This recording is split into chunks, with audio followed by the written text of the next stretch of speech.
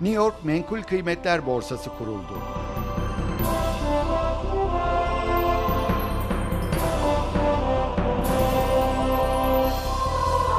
...1911... Dünya Kadınlar Günü ilk kez kutlandı.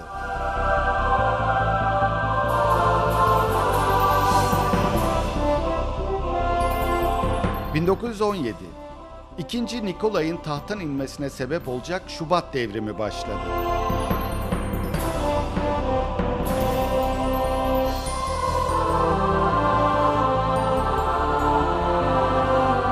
...1931... Kubilay olayından sonra Menemen'de uygulanan sıkı yönetim kaldırıldı. 1962 İstanbul-Ankara-Adana seferini yapan Türk Hava Yolları'na ait KOP uçağı Toroslar'da düştü. 8 yolcu ve 3 kişilik mürettebattan kurtulan olmadı. And what you've just been listening to is the ultimate in recorded sound. It will make all conventional disc and cassette systems obsolete. It's dustproof, scratchproof, digitally recorded, read by a laser, and it's called the compact disc. And that's it. The biggest revolution in the recording industry since the invention... 1979 Philips şirketi kompakt diski ilk kez halka tanıttı.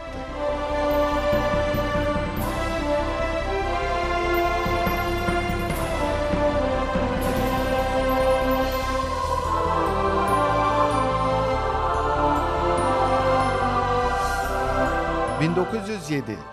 Konstantin Karamanlis Atina Üniversitesi'nde hukuk öğrenimi gördü. Avukatlık yaptı. 1935'te milletvekili seçildi. 1946'dan sonra çalışma, ulaşım, haberleşme, toplumsal refah, milli savunma ve kamu işleri bakanlıklarında bulundu. 1955'te başbakan oldu. 1959'da Adnan Menderes de Kıbrıs'ı bağımsız bir cumhuriyet haline getiren Zürih Antlaşması'nı karara bağladı.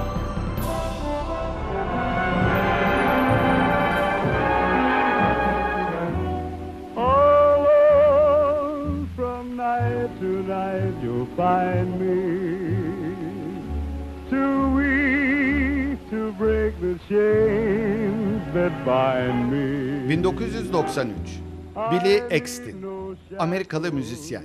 1925 yılında Hollywood'daki kafelerde ve küçük müzikollerde davulcu ve şarkıcı olarak çalışmaya başladı. Paul Whiteman ile tanışması bir orkestraya girerek profesyonelleşmesini sağladı. Mac Sennett stüdyolarında eğitim ve staj gördükten sonra New York'taki Paramount Theater ile 5 aylık sözleşme imzaladı. Mikrofona çok yakın olarak alçak sesle, yumuşak ve içten bir tarzda şarkı söylemesiyle dikkatleri üzerine çekti.